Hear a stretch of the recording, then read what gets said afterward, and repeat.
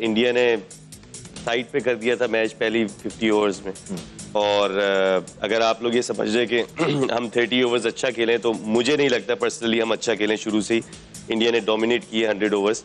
और बैटिंग की थोड़ी सी बात करना चाहूँगा। देखिए समटाइम्स जब सारे ही कह रहे हैं आपकी बॉलिंग क्लिक नहीं करी बॉलिंग क्लिक नहीं करी या बॉलिंग में वीकनेस है तो बैटिंग को कवर करना चाहिए।